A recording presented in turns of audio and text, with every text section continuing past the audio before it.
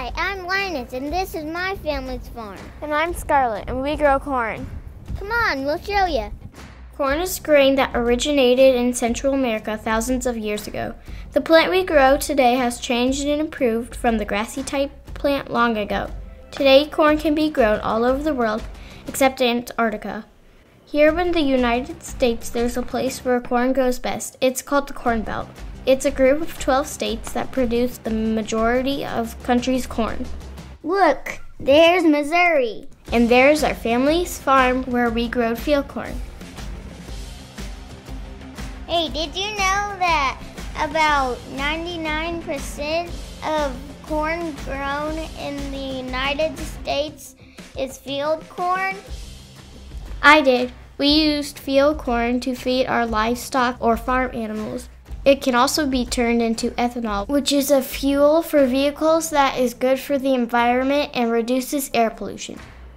Some human food can be made from field corn too. Cornstarch and corn oil are also used to make other things like plastic, medicine, crowns, and glue. You know what type of corn I love? Sweet corn.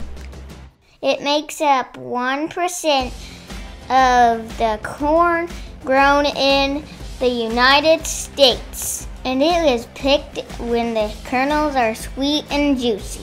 It can be corn on the cob or corn in a can, or frozen corn. Sweet corn is delicious and nutritious and grown for people to eat. You know it doesn't matter if you grow sweet corn or field corn. The seeds, like any other seeds, need three important things water, sun, and soil. Here in Missouri, corn is planted in the spring when the ground is warm, and the rain helps it to germinate and sprout up through the soil. And the nutrients in the soil help it to grow strong. Yeah, the seed is planted using technology and equipment. We use computers and tractors and planters to place the seeds in the soil at the best depth. If everything is right, it will germinate in about five to seven days. To germinate means the seed will open up and the tiny plant will emerge.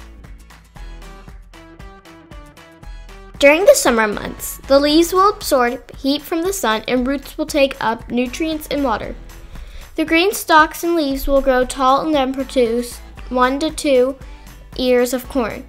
Each ear has hundreds of silks connected to it. When pollen falls from the tassel at the top of the stalk into the silk, each hair will develop a kernel or seed inside the husk which covers the ear.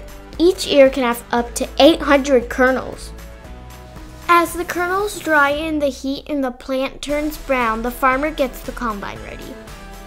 We use the combine to harvest the field in the fall.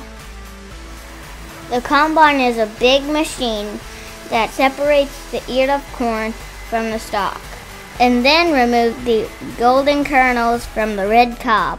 When the hopper or holding place is full, it is unloaded into the grain cart or semi trucks. It can either be stored in big silver storage bins or sold. Hey Linus, did you know that farmers measure how big the crops are by a unit known as a bushel? A bushel weighs about 56 pounds, so it's like the size of a big dog food bag. We use math to figure out how many bushels are harvested from one acre. And did you know an acre is a little bit smaller than a football field? A farmer can plant about 30,000 corn seeds in one acre, and that's a lot of corn. Yes, it is, and we can use that corn in a variety of ways. Here in Missouri, we feed it to our livestock like cattle, pigs, and chickens. We also take some of our corn to the ethanol plants. I like riding with Dad to drop the corn off there. That's where they grind the corn and make clean fuel for vehicles.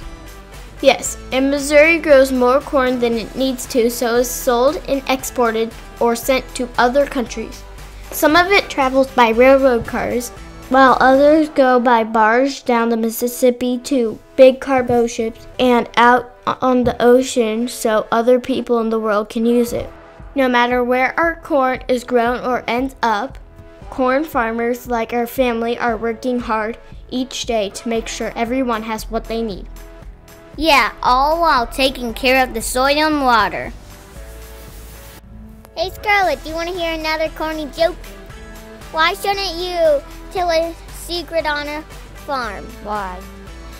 Because the corn has ears. Oh, Linus. Thanks for visiting our farm today and letting us show you how we grow corn.